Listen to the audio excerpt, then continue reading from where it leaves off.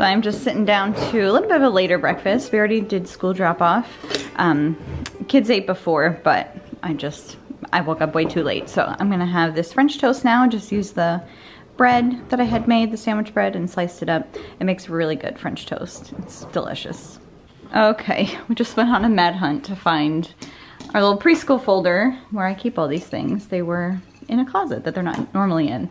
Uh, but we're gonna do this activity reader. There's two pictures on each page, so Lara and Luke can both make one. And we'll cut it out and they'll practice writing the letters and we'll make a cute little nativity book. Oh, like a boy. Baby Jesus. That's right, baby Jesus. While they color, I'm gonna read through this book. I'm sure I thrifted it. I think I haven't read it yet. It must have been from last year. I love the cover. It's just a Christmas reader, so there's a bunch of different stories in it. And we're gonna read um, The Legend of Saint Nicholas, page 49. All right, so we just spent some time making some ornaments with glitter, which was quite an adventure with a two-year-old, but we made like a little angel family, which turned out really cute.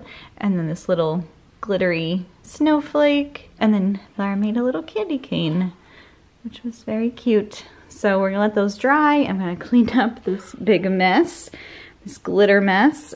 This has been one of the best buys ever. I got this Martha Stewart glitter set. It was 550, 549, and I've used it I mean, probably for like seven years. Like anytime I've needed glitter, I use this set. It's like gold, a rose gold, and a silver. And it just lasts forever. And it's the fine glitter, which I do really love the chunky glitter. It's just, you know, with kids, it makes such a mess.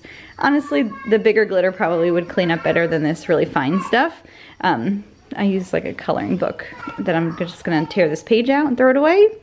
And we got this to throw away. So I'm gonna tidy up.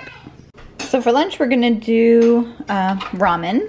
Uh, just simple, easy. I like to top mine with some scallion and cilantro. And sometimes I put like a ton more veggies in, but we're just kind of doing simple and having some carrots on the side. It's definitely the end of the two week grocery shopping and I'll probably be getting groceries tomorrow. So we're just kind of eating through what we have.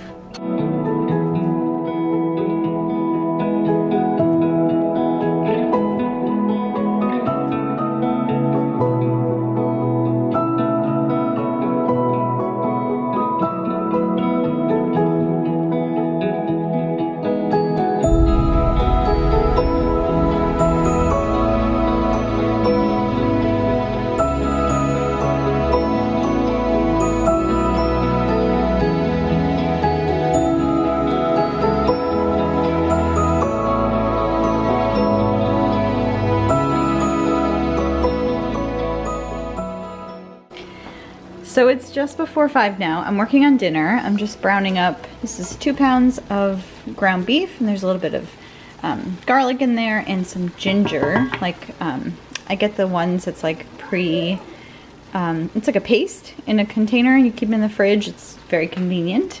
And then I'm gonna make some coconut rice. So I have two cups of rice and then in here I have a can of coconut milk, which is two cups, and then two cups of chicken broth. So that's gonna go uh, in the rice, that's what it's gonna cook in. And then in here I have some brown sugar, soy sauce, and water. I'm loosely following a recipe for Mongolian beef that we I've made before and it's really good. But that's with like strips of beef that you cook individually and I'm using ground beef. So I'm just kind of mixing together the sauce and then I'll just pour it over. My beef is just about done, so I think I'll pour that over and let it kind of reduce with the meat. And then we'll put it over rice and we'll have a little veggie on the side and it's gonna be delish.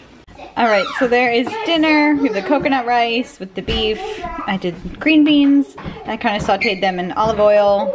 Um, kind of the same things like honey, soy sauce, and yeah, I think that was pretty much it. Topped with some sesame seeds, and that's dinner. So we had dinner's done, and we have some ripe bananas. So I'm gonna make some banana bread, just using recipe from Sally's Baking Addiction. Did have yogurt in it. Um, so I'm gonna make that, and I'm gonna bake it in this um, you know, like wider, shallower pan just so that I can get like smaller slices and it kind of works out better. And I'll probably add chocolate chips. I don't think it calls for it, but we always like that.